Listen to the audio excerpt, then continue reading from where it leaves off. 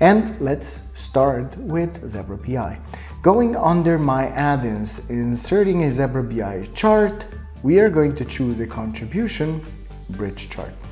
This chart already pretty much looks the way that we want it to look.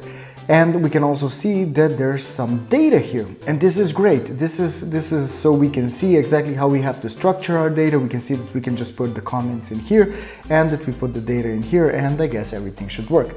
Let's try it. Let's delete everything, go back to our data, copy it, go back into PowerPoint, simply paste our data and it seems to have worked.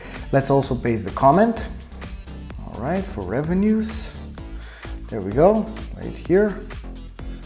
Now paste it under revenues like this and oh, this is perfect, good.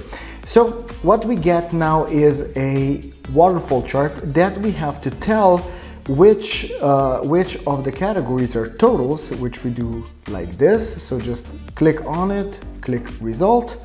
There we go, this is our total. And since this is previous year, we will also change the color. Then do the same for EBIT 2022. So a result and there we go. With what, three clicks, we're pretty much done. We got a beautiful looking waterfall chart that shows us the exact contributions from our different categories.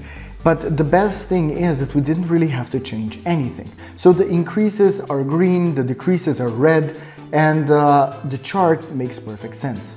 Another thing that is a very welcomed addition is the comment, right? We get a comment marker here signaling exactly where the comment is and what data point it refers to.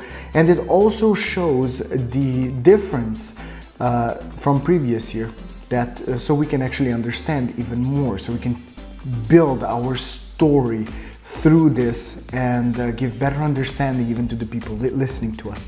Then the second thing, um, which also adds a lot to the understanding and the overall storytelling, is the difference highlights. We can see that for every total we have a difference highlight here, um, so we can know exactly how well we're doing versus previous year.